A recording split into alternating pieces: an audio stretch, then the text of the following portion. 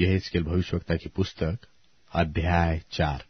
यह हिजकेल भविष्यवक्ता की पुस्तक, अध्याय चार। और हे मनुष्य के संतान, तू एक ईट लेकर उसे अपने सामने रखकर उस पर एक नगर अर्थात यरूशलेम का चित्र खींच।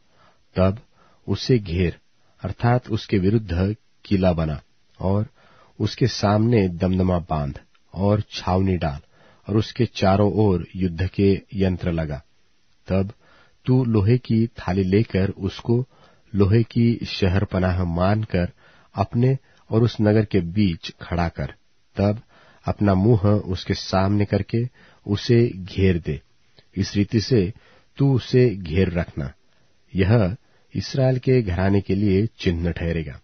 फिर तू अपने बाएँ पांजर के बल लेटकर इसराइल के घराने का अधर्म अपने ऊपर उठा रख, क्योंकि जितने दिन तू उस पांजर के बल लेटा रहेगा, उतने दिन तक उन लोगों के अधर्म का भार सहता रहा।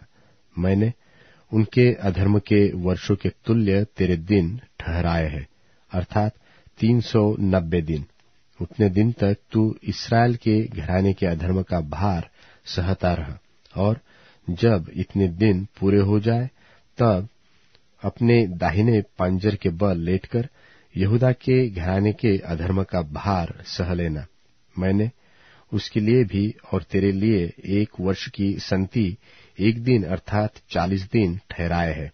और तू यरूशलेम के घराने के लिए बाह उघाड़े हुए अपना मुँह उधर करके उसके विरुद्ध भविष्यवाणी करना।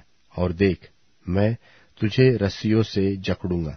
और जब तक उसके घेरने के दिन पूरे न हो, तब तक तू करवट न ले सकेगा।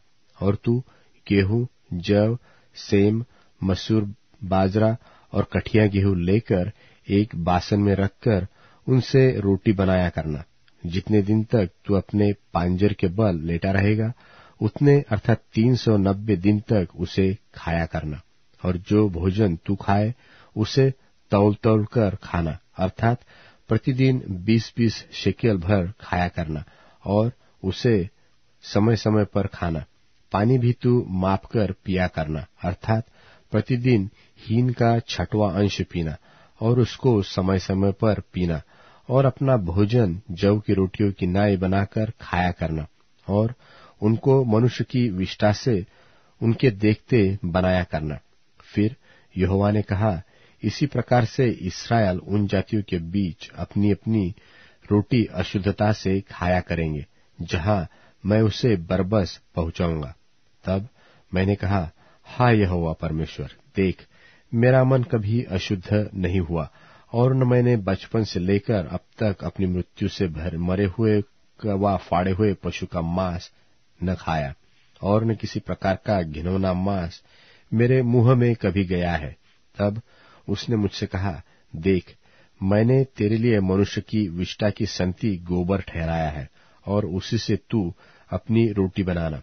फिर उसने मुझसे कहा, हे मनुष्य के संतान, देख, मैं यरूशलेम में अन्न रूपी आधार को दूर करूँगा।